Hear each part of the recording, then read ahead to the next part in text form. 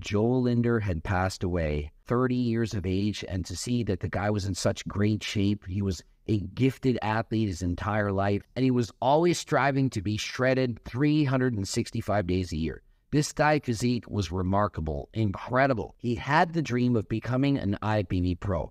Guy was a phenomenal athlete. He was doing cardio, eating healthy. The guy was super fit. And yet it happened to him. Joel Lindner was loved by millions of fans. He never had anything bad to say about anyone. Loved this guy.